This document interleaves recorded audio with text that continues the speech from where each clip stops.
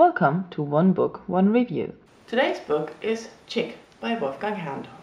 Ich muss ganz ehrlich sagen, ich war von dem Roman enttäuscht.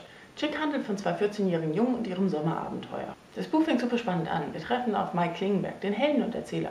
Er wird von der Autobahnpolizei festgehalten und der Leser erhält ein paar Informationsfetzen, warum er dort ist. Es wird eine Spannung aufgebaut, die einen sofort in das Buch eintauchen lässt. Nach einigen kurzen Kapiteln im Hier und Jetzt erzählt er uns die Geschichte von Anfang an. Das erste Drittel des Buchs befasst sich mit dem Ende des Schuljahres. Mikes Klassenkameraden werden vorgestellt und welchen Stand er bei ihnen genießt. Zwei Personen treten dabei in den Vordergrund. Tatjana, das schönste Mädchen der Welt. Und Chick, Andrei Tschichatschov, der neue und geheimnisvolle Mitschüler. Zu Beginn der Sommerferien feiert Tatjana ihren Geburtstag und Mike ist nicht eingeladen, was das Ende der Welt für ihn bedeutet.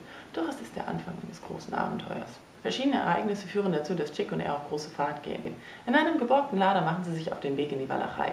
Auf ihrer Reise begegnen sie seltsamen Menschen und entwickeln eine innige Freundschaft zueinander. Der Roman fängt wie gesagt super spannend an und auch die erste Hälfte ist fesselnd und lockt schon mal ein Lächeln von den Lippen. Leider schafft es Herrndorf nicht, dies bis zum Ende aufrecht zu erhalten. Bereits zu Beginn des Roadtrips lässt die Spannung nach und trotz all der Abenteuer, die die Jungen erleben und der verschrobenen Persönlichkeiten, denen sie begegnen, verliert die Erzählung an Biss. Mike verliert sich immer mehr in Gedankengängen und schweift ab. Als dann endlich die Auflösung für die Anfangsszene kam, war ich enttäuscht, da diese nicht meinen Erwartungen gerecht wurde. Danach zog sich das Buch noch über einige Kapitel hin, bis es schließlich alle Erzählstränge beendet hatte.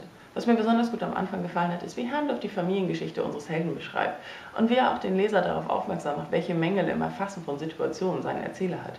Mike ist kein vertrauenswürdiger Erzähler. Er neigt zur Übertreibung und Dramatisierung, was zeitweise sehr amüsant ist, an anderer Stelle eher ermüdend wirkt. Ein weiterer Pluspunkt ist die Darstellung der Freundschaft zwischen Chick und Mike, wie sie sich aus dem Nichts in recht kurzer Zeit zu einer engen Bindung entwickelt. Ich hätte mir gewünscht, dass der Roman die anfänglich fesselnde Wirkung bis zum Ende hätte durchhalten können.